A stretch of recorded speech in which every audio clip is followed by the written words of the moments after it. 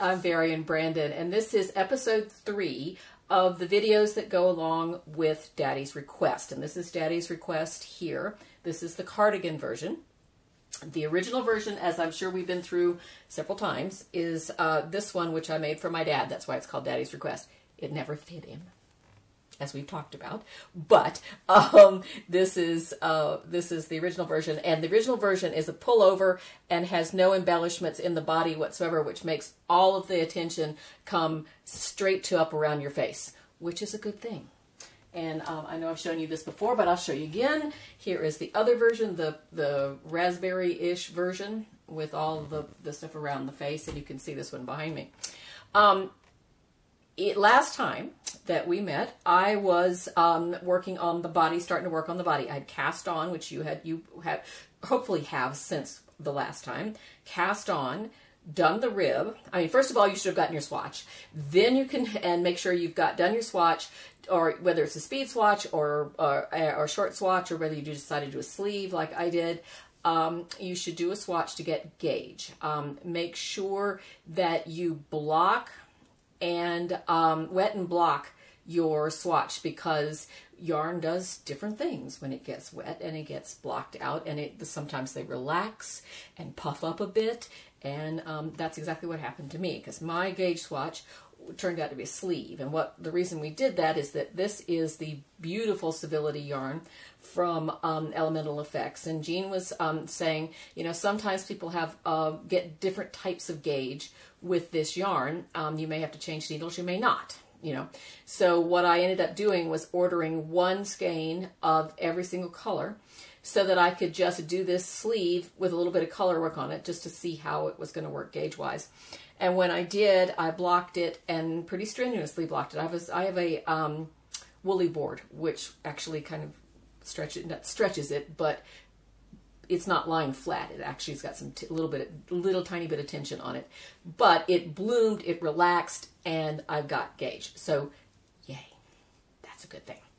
So, um, point being, oh, my point being was that I only ordered one skein of every single thing. So when I started, um, if you follow me on Instagram, you will see that um, one skein was not going to work for the body. So I ran out of yarn um, and I had to get more yarn. And so, uh, which I did. And I continued on with the body. Now, if you are working um, either a cardigan version or the pullover version, and you're working it um, in a single color up to the underarm, up to where the yoke, yoke starts around in that point, then you um, are just working away. Now, what I did was um, I turned over the first, if you look at your charts, I have it right here, at least I think I do. The first, if you look at your chart, the first 17 stitches of the chart are like, are like this. And what I did is I took this and I turned it this way so that now I'm starting at 17 here. And that is exactly what I did to make hello to make um, that right there. So you can see that medallion is actually this medallion kind of right there. There's the the second and third stitch of it. There's the first stitch of it. So when you do your repeats, this is an eight stitch repeat. So if this is stitch number one, we'll talk about charts when we get to the to the yoke, but if this is stitch number one, you get to stitch number eight, you start back at stitch number one so that this piece and the next eight would be here, which will complete the medallion. So what, um, that's what I did here. So, um, but then um, you had to do the whole, and in my case here, the whole rest of the body of the sleeve. And um, for the, you see it's the same, the same 17 rounds upside down. Now there is some, um, a little bit of figuring involved, especially in the sleeve, to make sure that this patterning, um, if you are not a beginning color work person, um, you have to make sure you have some figuring to do to make sure that the center part of the sleeve, if this is the underarm of the sleeve here and this is the top part, you want to make sure that that falls either in between the motifs or at the end of one of the motifs. It You don't have to. It just looks better. And um, if you can if you've done that before you know what i'm talking about. If you haven't done that before and you want to make this version get in touch. I'll be more than happy to talk you through it. It's what you have to figure out how many of those medallions you're going to have. It's a if it's an odd number then your then your center stitch is going to be the point of one of the medallions. Um, and if it's that you've got an even number like i have because i have four in this particular size um, then my center stitch is in the is in is here in between. And if you've ever done patterning like that, you'll you'll know. But if you've got any issues, please get in touch because I'll be more than happy to help you with that. If you are just starting out and you would like some color consultation, I'll be more than happy to talk to you about that too. I just I love colors. It's fun fun to work on that. So anyway, um, if you are working right along, you have cast on, you've gotten your swatch, you've gotten your gauge, you have cast on your um, ribbing. Now, you can adjust this any way you like. Um, I don't like to do the same sweater twice. So what I ended up doing, and I may have talked about it last time, is that instead of doing um, a two and a half inch rib, I did a three inch rib, just because, just to be different. This is, this one's probably three, no, this was two and a half. That, that one's two and a half. Say, yeah, and it's still a one by one rib. Um, and then I just started working. Now, to me, if you're doing a cardigan, doing one of the cardigan versions, then um, you can see that there's my steek right, where is it there? There's my steek. There are the purl stitches on either side of the steek right there. And then there's the, the, the rest of that, that's stitch one and stitch 10. Um, and then those are the, the eight stitches in between. So, um, and that's where you add your colors if you, when you get to the yoke, we'll talk about this more, um, you add your colors in that steek for the cardigan version.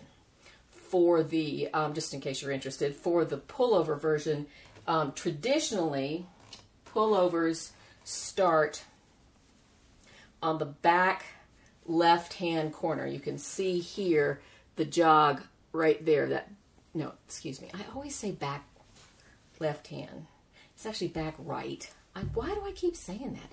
It's back, the back right hand side. So because the sweater goes on, it's right back here. Why?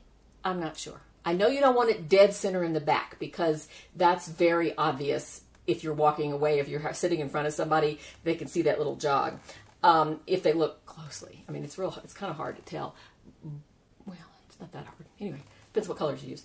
But somehow, if you have it kind of in that edge. And, and when you think about it, it's where you um, add on the add the sleeves on when we do the yoke. And that's what we'll end up doing is you'll work all the way up to the underarm of the body. Then we'll work all the way up to the underarm on the sleeves, put them all on one needle, and then work the yoke.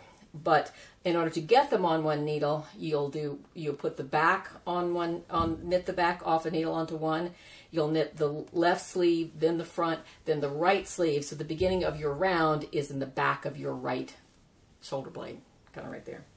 So that's how that works. That's for the pullover. For the cardigan, it's just really easy to do it right up the front because then you have no jog whatsoever.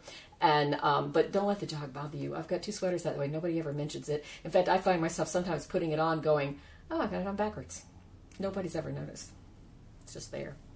Um, so uh, oh, I was going to tell you, you have this long expanse here. If you're working the pullover version, you have this long expanse of um, plain stockinette. Boring stockinette. Mindless stockinette. Thought-provoking stockinette.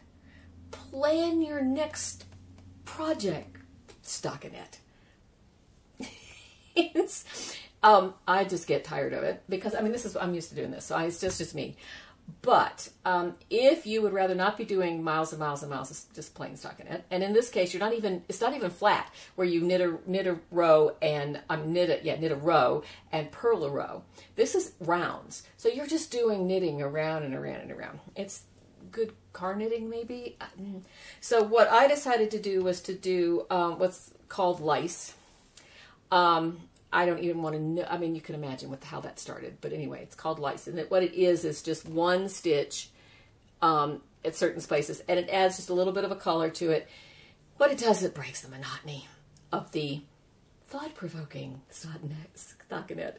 Um, I have done, because I have an 8-stitch repeat, oh, I'm pointing to it, because I have an 8-stitch repeat here and an 8-stitch repeat on the um, on the yoke. I mean, the yoke has an eight. The largest repeat is an eight stitch repeat. I have done um, a done these things every eight stitches and every eight rows, and then have you know done. So if you have an odd number in between, in this case, um, there's seven stitches, and the eighth one is the um, is the different color. Um, that gives you seven stitches in the middle. So on the fourth stitch is where you would jog over. So this stitch here is the fourth stitch of, of in between these two. Hopefully that makes sense. So anyway, that's where you are. Go all the way up. It makes a, gives you a break. Um, the other way to do it, if you're not doing color work like I am with this down at the bottom, or and um, you or you want to do it next time, you've got the pattern now. You can do it again um, and make it look entirely different. So um, what you could do, and I've done this before, is do these same things, except instead of a different color, do a purl stitch, so that you end up with just a little bit of texture in the plain stockinette, which gives you point places where you can mark progress. It gives you something to look forward to. I just get these, in this case, seven rounds done, and then I get to do another, um, you know, in this case, purl. In your case, if you're doing a purl stitch, purl round. Now, what I had did before is that when I've done this, is that is that if this had all the purl stitches in it, it's you don't know exactly where it's going to fit into here. And if you've done it right, if, and if it'll line up, then your purl stitch would either match the, the point of your um, the point of your medallion or it will fall in between depending you know here here it falls in between and here it matches the point of the medallion um, you don't want to have them right on the end of the points and you don't want to have them right you know in here um, but you stop a couple of rows you know try to stop so it's not in, just depending on how long your length is so it's not sort of in, intruding in on your um, what's this called? Yoke? Turning it on your yoke. Sometimes I will do a um, just about two or three rounds before the yoke start, before the color work starts, I will do a purl round, which gives that just a little bit of line of demarcation and kind of sets off the um, of demarcation of a uh, texture and sets off your yoke.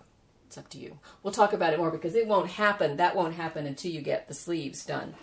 If you are doing that, though, it with the purl stitch or with the color, um, I would make sure that you have the same number of rounds um, after your last either lice round or texture round um, at the top of your sleeves as you do at the top of your body.